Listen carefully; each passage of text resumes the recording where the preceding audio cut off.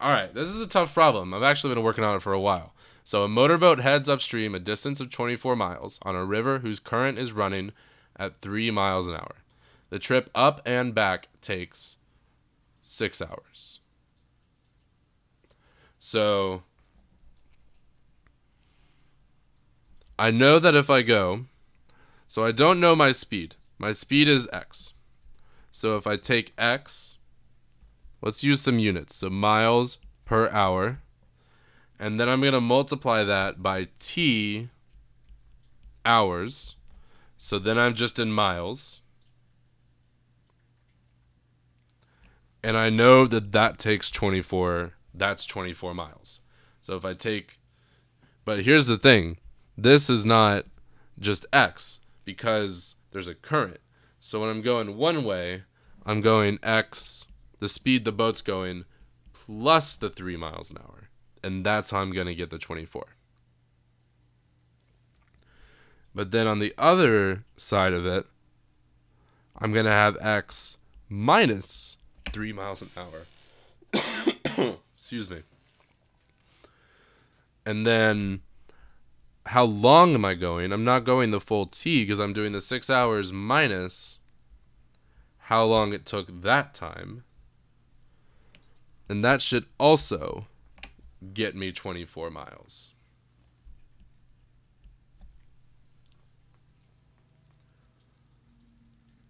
So now what? Well, I've got no more substitutions to do, I don't think, but I've got two equations and two solutions. So I should be able to solve for them decently. There's no division I can do right now, unfortunately. So I'm tempted to just say that t is 24 over x plus 3. And then plug that in for t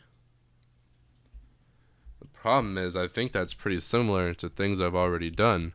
But x minus 3 times 6 minus 24 over x plus 3 equals 24. And so, I mean, this should be fine, right? It's an equation for x. So we just got to solve for x.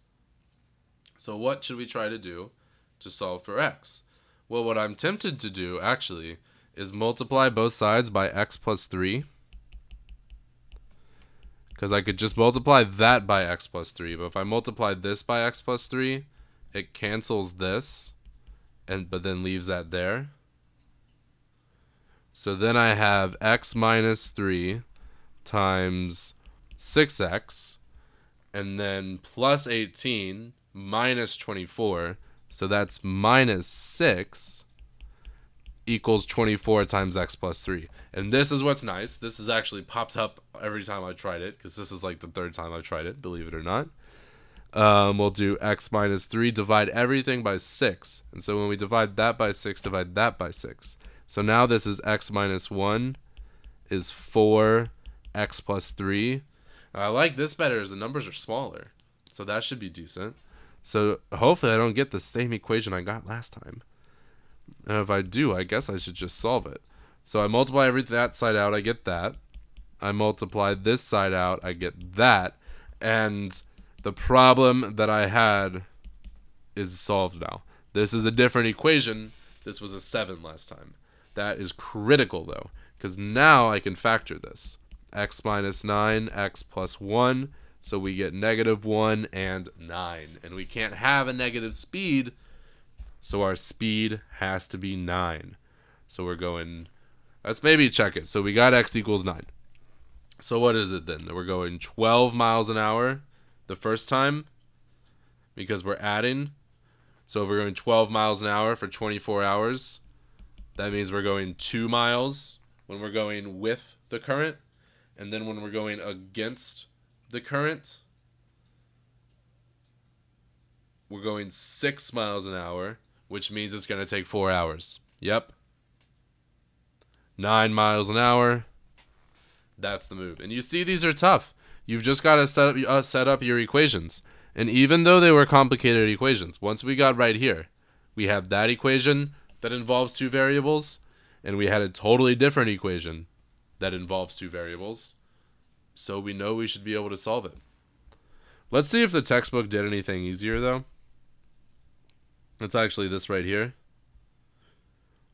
See, they went and added them together. Well, they did. Oh. So that's really not any. You see, they actually arise at the same thing that I did. But what they did is they set up these two times. So they did time as distance over rate. Yeah, they always do all these complicated stuff. But yeah, they solved both of them for time. That's what they did. They had their two different times. And then they solved both of them for time. And then they added them together, and that was six. That makes sense. Okay. Good problem. Good problem.